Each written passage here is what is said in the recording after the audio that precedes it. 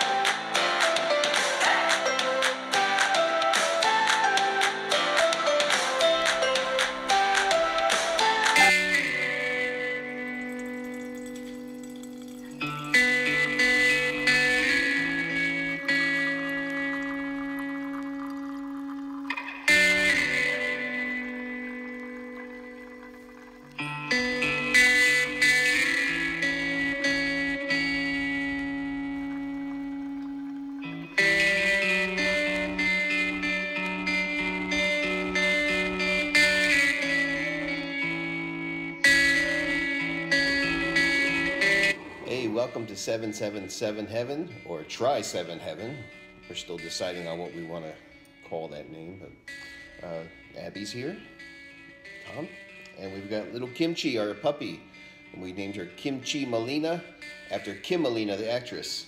If you uh, look at her in the face when, you pull her eyes back, her hair back, her eyes pop out, and kind of looks like Kim Molina. She's a very good actress. Anyway, we are here. We're going to try a coffee, and it's kind of a surprise for Abby because I didn't tell her what coffee. But let's get the coffee.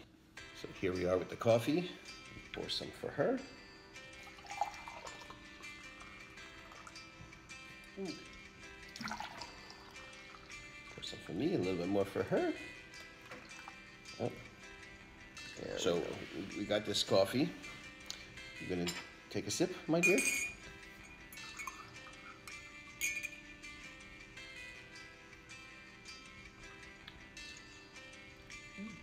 Is it good? Mm -hmm. What coffee is that? It is the Philippine Civet Cat coffee. Uh, if you're familiar with the Civet Cat, it actually eats the beans and then it poops it out. And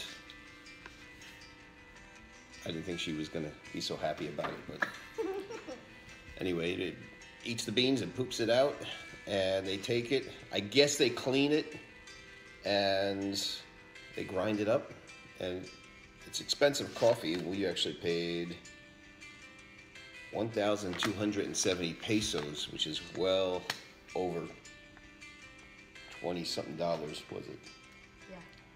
Yeah. $25. About twenty-five dollars for this ah, that's the little bag. Yes, it's, yes, it is the poop coffee. Now she's making a reaction. Okay. I don't like poop coffee.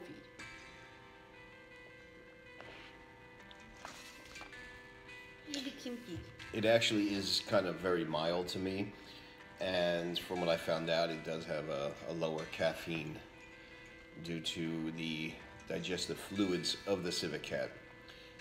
Now, the Civet Cat also is starting to become an endangered species. I found out, so I probably won't be purchasing any more of this coffee because of things I've been reading online about it.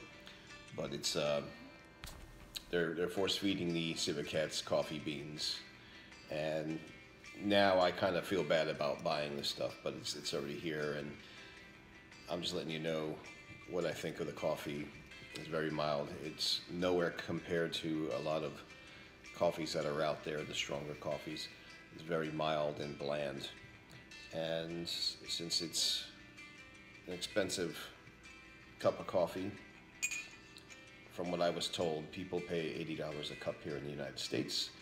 And as you know, I paid $25 for that little bag, and it's a six ounce bag. Normally, the bags here come 12 ounces, so it's double the price and half the coffee. Hey, Can you drink mine? So, what did you think of the flavor of the coffee? It's good, but I don't like the idea that it came out from a butt. Well, you've eaten a lot worse things. And Poor I've thing. I've seen her eat some. I mean, she eats fish stomachs. That's a Philippine uh, delicacy. No. They they love the milkfish, and they love eating the fatty stomach and the eyeballs. So what I found out about the Civet Cats after I already purchased this coffee, which like I said I won't purchase it again. They they do keep them in cages. They are force feeding them, and they are kidnapping the animals from uh, the wild. So the first time I went, I saw the coffee in the Philippines. I, the whole year later, I regretted it not buying it. And then when I was there the last time, I went and I, I bought it. And now I'm kind of like, I drank it, tried it. I wasn't happy about the price, but I'm a lot more not happy about what I found out about the Civet Cats. But it's not really worth the price. It's a very bland, mild coffee. If you guys are interested to try, you can find it in Mall of Asia in the Philippines, in at Kultura. What? 1,200? That's too much for a coffee poop. It's 1,270. And the- the name of the company like is- over Kultura, like culture, but it's probably like a Spanish word. Well, we're gonna leave you with uh, that information, and we're gonna end this vlog here. And uh, cheers. And peace out. like, Subscribe. click the bell, please.